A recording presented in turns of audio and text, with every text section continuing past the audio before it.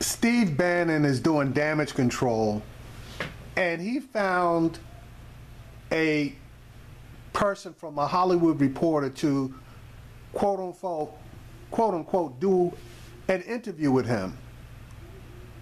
But in my mind, an, an interview is an interchange between two people where one person asks questions of the other and gets answers and then does follow up questions. None of that occurred here. And that is proven true by this reporter's own words. He said he was just there to listen. He didn't ask this guy any questions. Check out uh, this uh, segment on Steve Bannon uh, breaking his silence. For the first time since President elect Donald Trump won the election last week, Steve Bannon, his campaign chairman and now the new chief White House advisor, is breaking his silence. Bannon, the former head of Breitbart News, which he once called the platform for the alt right, spoke with the Hollywood Reporter's Michael Wolff this week. And quoting from Wolff's article, Darkness is good, says Bannon. Dick Cheney, Darth Vader, Satan, that's power. It only helps us when they get it wrong, when they're blind to who we are and what we're doing. And by they, there, Bannon is talking about the media and the left. And Michael Wolff, columnist for the Hollywood Reporter, joins me now. Michael, thanks for taking a few minutes. So, thank you for having me. You got quite an interview here. This guy's name is all over the news. Uh, he's been called a white supremacist, a, a racist, an anti-Semite. You got to sit down and talk with him after he's heard all of these accusations for the last week.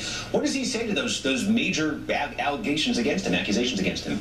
He dismisses them. I, I don't think he sees those as germane to uh, who he is or what he stands for. Um, I think he sees that as part of uh, liberal media's um, failure to understand who he is and what he's about. And so, what does he say he is? If, if he's uh, he says he's a nationalist, not a white nationalist. What's the distinction he's drawing there?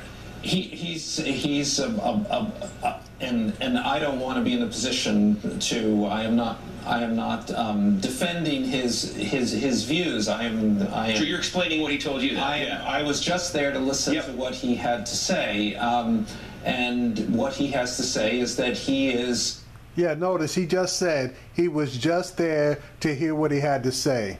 And also notice this guy, he measures his words very, very carefully and he's consistently trying to come up with stuff. The reason I say that is uh, he's always looking up at like the ceiling or whatever, trying to pull his thoughts together. So about uh, jobs for Americans, uh, that is exclusively his focus jobs for Americans. That makes him a nationalist um, in his view, and it makes him a very astute political figure in his view that giving jobs to voters is the way you get elected.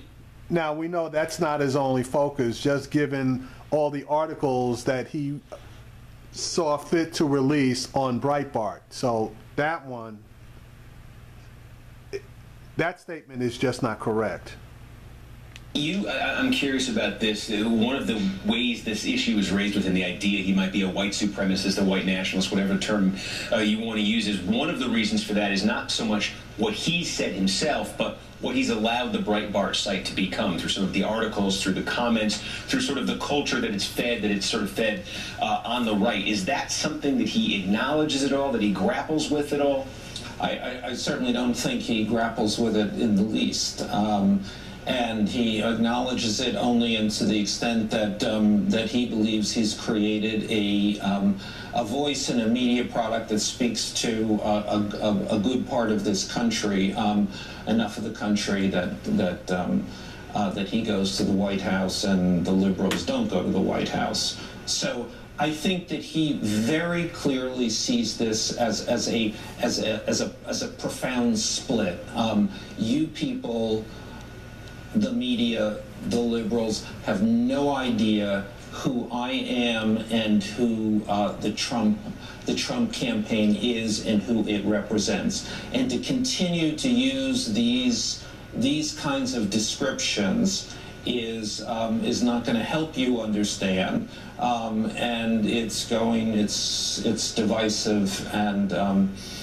um, and paralyzes the discussion. What is your sense, just sort of getting a, a, view on the inside there a little bit? Obviously, Donald Trump appointing him to this top White House position, being willing to absorb all of the sort of blowback that comes with that from the media.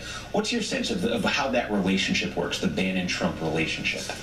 I think um, Steve Bannon is Donald Trump's brain. I mean, I think it's a very, very important, fundamental close um, relationship, and I think it's a relationship that will um, that will be at the center of uh, of the next stage of the Trump revolution, if you will. And, and what what is it that Trump sees in him? It's such a unique person to bring into a campaign. Nobody with a background like that I can think of has ever come into a campaign. What drew Trump to him in the first place? Um, you know, I don't really know the answer to this. I don't know how far their relationship goes goes goes back. That might have been a good question to ask if you were doing an interview. Um, I think he was drawn into the campaign because the campaign was floundering at a certain point during the summer. He came in, he gave it focus, and he gave it um, this fundamental idea. I think from from August on, the uh, the thing that Trump really spoke about, as as the media and the liberals were talking about. Um, um, about about Pussygate and whatever and all of the other things that we were talking about uh, with great relish. Donald Trump was going out um, um, in um, with Steve Bannon at his side talking about um, jobs. It's the economy, stupid. Um, we once heard that and understood it and knew it, but I think we, and I mean um, the liberals and the media forgot that. Okay, Michael Wolff, Hollywood Reporter with. Yep, so there you have it. Damage control by Steve Bannon. No real legitimate questions asked or answered. Uh, just his side of what he wants out there, and that's it.